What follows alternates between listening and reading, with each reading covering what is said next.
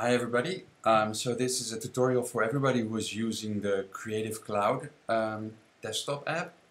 And maybe uh, you just ran a few uh, updates and now you've got double um, programs installed. So we've got Illustrator CC and Illustrator CC 2014 and this goes for a few others. So um, you might have um, removed the software from your computer just by dragging it to your um, bin. However, it didn't remove the, the version from this list. So what we're going to do is pretty easy. We're going to remove um, the software that you don't need from this list using the Adobe Cleaner tool. So just open a browser and go to um, Adobe Cleaner tool hit enter. I've got a Dutch version, so bear with me. So there's, um, I'm going to choose for the OS version and just download the cleaner tool. So there it goes. Blah. Okay, I'm going to open my Finder and I just accidentally downloaded it twice. So I'm just going to run the tool that I just downloaded. And just run it from here. Sure, open. It's going to ask for a password in my case. Just accept the terms. Okay, so here's this window and it shows the double, or it shows all the um, Adobe software versions. So I want to remove the Illustrator CC. I, I removed it from the Finder However, it didn't remove it entirely, so I'm going to just look it up in here as well. Illustrator CC Core. It didn't remove it, so clean up.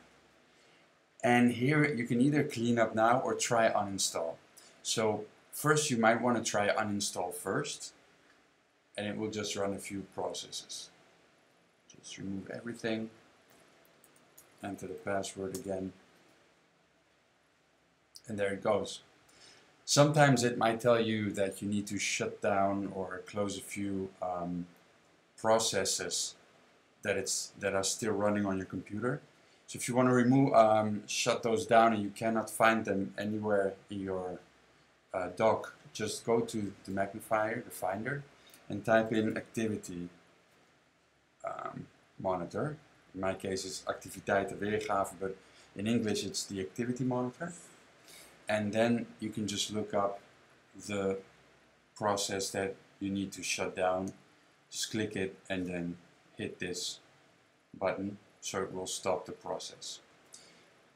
Wasn't necessary in this case it removed it so close. It will get out of this list and if you see here it will still be here.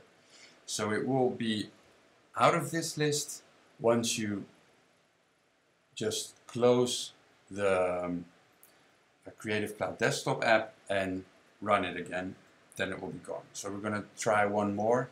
Premiere Pro, clean up, try to uninstall. Remove all the preferences as well.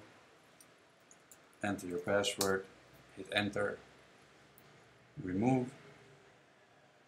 It will take a few minutes, but since I already removed it from the Finder, it will go a bit faster because it only needs to remove the remaining files. So it will start running. There it goes.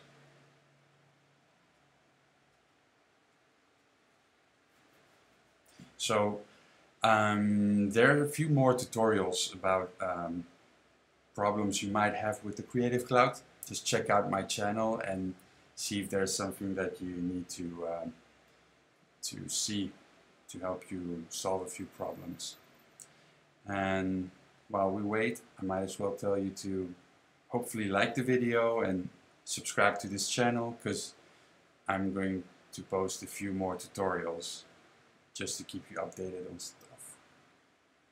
Okay, almost there. I just want to show you what happens once I shut down and restart the Creative Cloud. Okay, so you see the Illustrator is still here and the Premiere Pro is still here. So close it.